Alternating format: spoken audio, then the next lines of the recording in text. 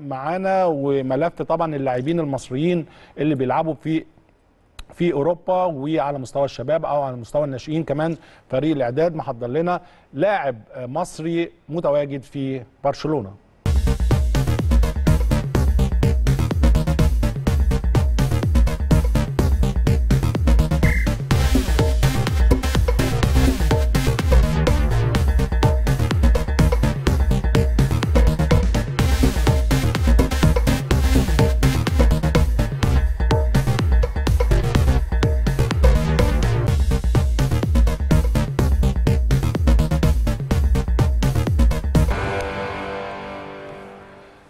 الحقيقة آه، كل أسبوع بنقدم لحضراتكم نموذج والنموذج ده ده لعيب آه، مزدوج الجنسيه مصري أمريكي عايش في أمريكا ولكن هو كان بيلعب في أكاديمية برشلونة في أمريكا. والحقيقة آه، انضم للمنتخب الأمريكي تحت 16 سنة ولعب واتبعت له جواب رسمي من برشلونة إنه يرجع ويروح لهم ويكون موجود معاهم في برشلونة على مستوى الناشئين أو أكاديميات برشلونة لأن حضراتكم عارفين بيبقى العملية هناك محسوبة كويس قوي في أكاديميات من الأكاديمية ممكن يطلع يتمرن مع فريق برشلونة تحت 16 أو تحت 17 سنة ويبقى الفوكس عليه من خلال الإدارة الفنية للفريق الأول. شفنا نماذج كثيره جدا من جافي عنده 16 سنة ولعب مع فريق برشلونة ولعب مع المنتخب الأسباني.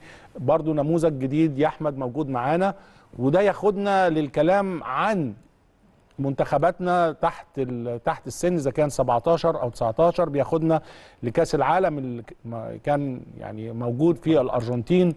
والحالة العامة لمنتخباتنا المصرية وعدم الاهتمام بهؤلاء اللاعبين وعدم الاهتمام بشكل كبير بالقاعدة والبيز الأساسي اللي ممكن نبني عليه منتخب قوي.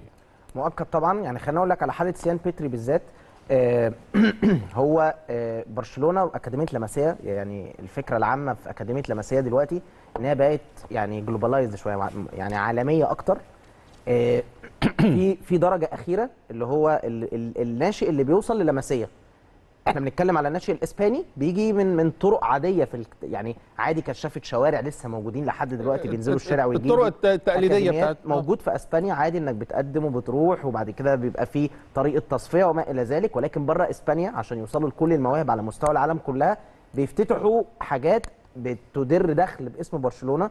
بتفرز للعيبه الأكاديمية اللاماسيه نفسها. الأهم من كل ده إن لو لعيب في فريق أو طلب من فريق أول أو من فريق شباب أو من أي درجة بارسا B الفريق الرديف كل الدرجات اللي برشلونة لازم يبقى في حتة كده spot في بلده برشلونة يعتبرها شيء رسمي لاعتماد اللعيب ده. يعني مثلا زمان 2003 لما 2001 لما ميسي كان بي بي بي اضطر حد يروح يشوف حد يروح يشوف بنفسه وبعد كده شافوه بيلعب في الشارع. وبعد كده شافوه بيلعب في نيولز أولد بويز بعد كده جابوه. لا دلوقتي النظام مختلف. فرونالد أراوخو مثلا لما كان في في في أوروجواي بيلعب في نادي بينيارول وبرشلونة اتعرض عليه في بارسا B ما ما محتاجش إنه يسفره ويجيبه ويوديه. لا في هناك spot في, في أوروجواي ناس بتتابع ناس شافت في أكاديمية شبه اللي فيها سيان بيتري دي. فتمام خلاص تمام. أكاديمية لما خد الصك ابتدى يسافر. لما سافر هناك أراوخو من اللعيبة اللي قعدت شهر بالظبط في B وطلع على طول لعب first team لأن برشلونة ساعتها بقى كان في بيكي بيكبر في السن وبويول لسه معتزل من ثلاث سنين وكان في مشاكل في على مستوى قلوب الدفاع وأومتيتي مصاب.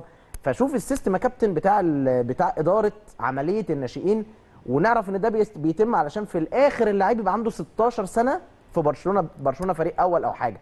هنا اللعيب اللي عنده 16 سنة ممكن يكون بيتقال له انت لسه لا مش 16 سنة ده إحنا عندنا لعيبة عندها 22 سنة بيقول لك لا يعني 16 سنة انت لسه برعم يعني.